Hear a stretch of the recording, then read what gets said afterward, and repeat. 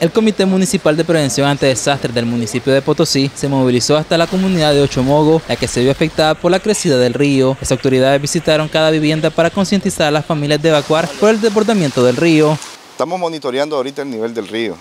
Estamos ahorita en, lo que es el llamado también con lo que es la comunidad de la conquista en Carazo, ¿verdad? Como sabemos de que ahorita están eh, la lluvia fuertemente, la corriente del río está fuerte y ahorita viene subiendo el nivel, entonces consideramos que ya es el momento de que, de que con un método de precaución debemos de evacuar a la familia a lo que es el centro de albergue.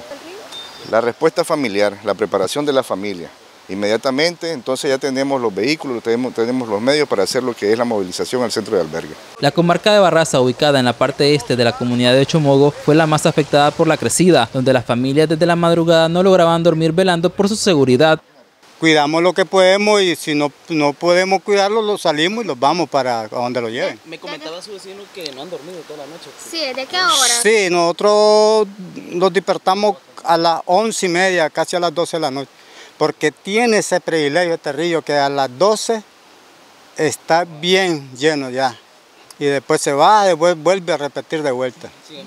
Eh, hace poquito, como una hora, tiene que se vació. Pues anoche, como a medianoche, pues comenzó a llenar, pero después bajó y ahorita que se vació. Sí. ¿Qué le parece la visita de las autoridades para que se evacúen, salvaguardar su vida?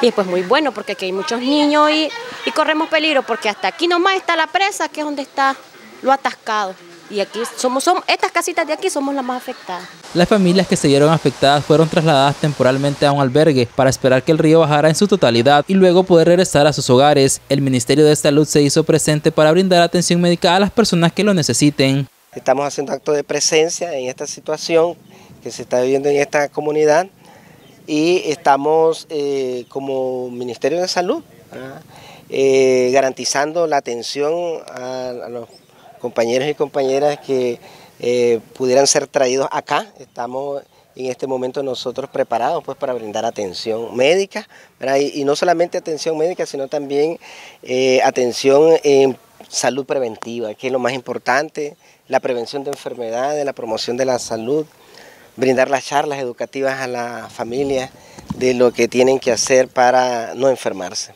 Las autoridades del departamento de Rivas mantienen constante vigilancia por alerta amarilla que se mantiene en todo el país para evitar que se produzca alguna pérdida humana que lamentar. Con la colaboración de Cristina Arauz, Sicto Carmona, Multinoticias.